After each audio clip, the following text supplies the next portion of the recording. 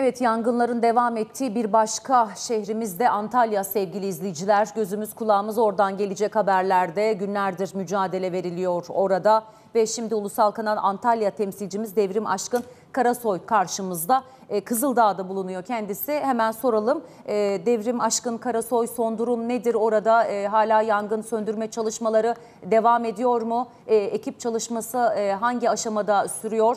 Ee, hepsini senden dinleyelim. Evet iyi yayınlar diliyoruz. Ee, şu anda Kızıldağ Çardak mevkiindeyiz. Daha doğrusu Çardak e, mevkiindeyiz ve dün yaptığımız yayında bu burada e, süren yangının gece görüntülerini paylaşmıştık. Biraz uzak bir mesafedeydik. Şu anda tam içindeyiz. Hatta şunu söyleyebiliriz. Devletin tüm güçlerinin e, milletle birlikte seferber olduğu e, alandayız e, çevre köylerden, ilçelerden gelen yurttaşlar buradaki ekiplere destek için sahadalar. E, az önce buraya gelirken 10 tane Toma'nın su ikmali yapıp hızla yangın bölgesine gittiğine şahit olduk. Ve e, belki görebilirsiniz burada ikmaller yapılıyor. Araçlar e, gelip burada gerekli düzeneklerini hazırlayıp yangın bölgesine gidiyorlar. E, dediğimiz gibi devletin tüm imkanları, ormancılar ordumuzun, belediyelerin üstün çabalarıyla, e, yurttaşlarımızın da o can siperhane e, mücadelesiyle PKK'nın hain saldırısına karşı tüm direnç e, birimleri burada diyebiliriz. Evet, e, yanımızda da e, yurttaşlarımız var, Çardaklı yurttaşlarımız var. Şimdi onları dinleyeceğiz. E, nasıl bir mücadele içinde olduklarını onların ağzından e, alacağız. Evet. Abla biz Çardak köyünde ikametteyiz. İsmim Kutlu İsim Mutlu. Yöre halkındanım. Yaklaşık 7 gündür gece gündüz bu yangın bölgesinde mücadele etmekteyiz. Yöremizde çok büyük bir yangınlar var. Öncelikle Türkiye ve yöremize geçmiş olsun dileklerimle başlıyorum. Ee, gerçekten ülkemiz seferber oldu. Belediyesiyle, bütün birimleriyle, orman işletmesiyle, bakanlığıyla, bölge müdürlüğüyle bir koordineli çalışma var. Ama gerçekten çok e, dağınık bir bölgedeyiz. Yangın çok dağınık, çok e, uzun süreli bir yangın olduğu için artık insanlar da yetişmez hale geldi. Saha olarak çok büyük.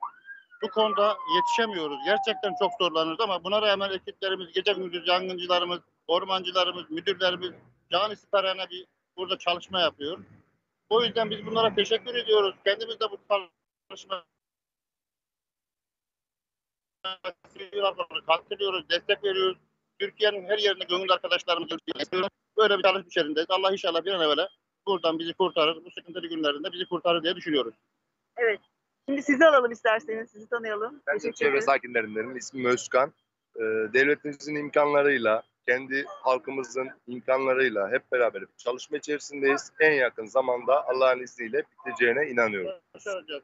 Başaracağız. Hep Evet, beraber başaracağız. biz de buradaki bu büyük e, imeceyi, bu büyük dayanışmayı gördükten sonra buna Evet. hiç kuşkumuz yok ama tabii e, bir takım sosyal medya hesaplarından, işte çeşitli e, yayın araçları e, üzerinden e, çok fazla provokatif yayınlar yapılıyor. İşte e, sanki devlet mağdur, devlet çaresiz, eli kolu bağlı gibi. Asla, asla. Aynen. Burada görsünler şöyle ülkemizin her yerinde yangın çıktı. Ve ona rağmen şu an buradaki e, emek, şu an buradaki harcanan çaba olağanüstü ve çok iyi bir durumda. Hani herkesin elinden geldiği kadar bir şeyler yapmaya çalışıyor. E, gerisi Allah'ımıza kalmış. Yani gerisini yani elimiz elinden gelen herkesin elinden gelen yapıldığına inanıyoruz biz halk olarak. Peki şimdi e, PKK'nın e, bir yan kolu olan Ateşin Çocukları isimli terörist örgüt e, bu yangını, bu kundaklamaları e, üstlendi. E, sizin bu konudaki, yani Türk milletinin cevabı nedir? Türk bu, bu milletin saldırıya? cevabı bu tür çapulculara biz meydan bırakmayız ablacığım. Kesinlikle meydan bırakmayız. Biz onlara e, bu vatanı teslim etmeyiz asla. Bu vatan e, şehitlerimizin kanıyla kazanılmış Mustafa Kemal Atatürk öncülük etmiş. İnşallah e, bu vatanı biz onlara bırakmayacağız kesinlikle. Onlar küçük insanlar, alçak insanlar çok özür dileyerek söylüyorum. Onlara yakışan odur. Ama biz savaşacağız, onların üstesinden geleceğiz inşallah. Yani görüyorsunuz sahada Türkiye'nin gücü gerçekten çok kuvvetli. Yani bütün dünyanın gıpta ettiği bir Türkiye burası. Sağ olsun Cumhurbaşkanımız bilakis bu yangına ilgileniyor. Orman İşlet, Orman Bakanımız ilgileniyor. Vekillerimiz ilgileniyor. Yani devlet gücü olarak hep burada. Kimse bunu yani yadırgamasın, provoke etmesin.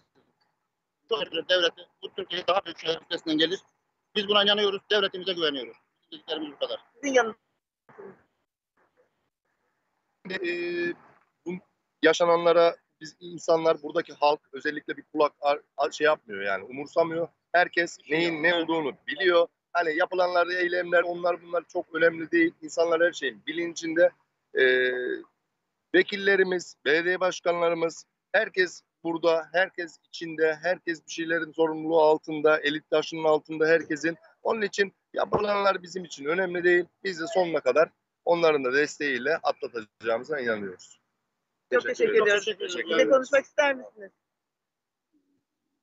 Tanıyalım. Kızıldağ köyünden Abdülçetin. İnşallah bu şeyi sökeceğiz yani.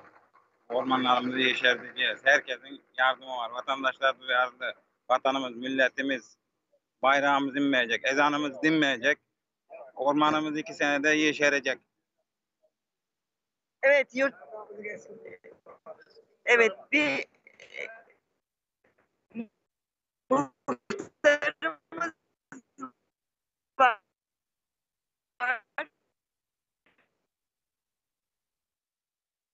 Onu da alacağız şimdi yanımızda. Evet, Buyurun. Bağlantımızda bir sorun oldu galiba. Antalya'dan Devrim Aşkın Karasoy, Ulusal Kanal Antalya temsilcimiz aktardı.